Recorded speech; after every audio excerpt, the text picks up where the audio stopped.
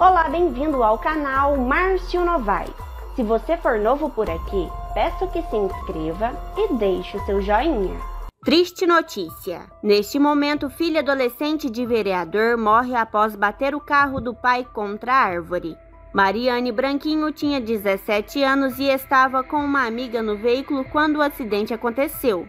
Nas redes sociais, o vereador lamentou a morte da filha. Após o acidente, imagens mostram que, após bater contra a árvore, o carro ficou com a frente completamente destruída.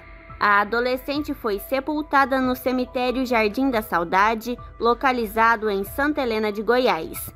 O vereador Simão Mota, de Santa Helena de Goiás, lamentou a perda da filha de 17 anos em uma publicação nas redes sociais.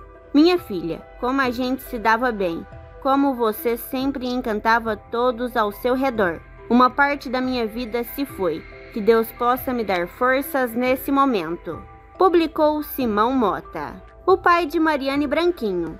E qual palavra de conforto você deixaria para este pai? Deixe aqui nos comentários. Nós lamentamos o falecimento de Mariane Branquinho. Obrigado por assistir o vídeo até aqui e até a próxima notícia.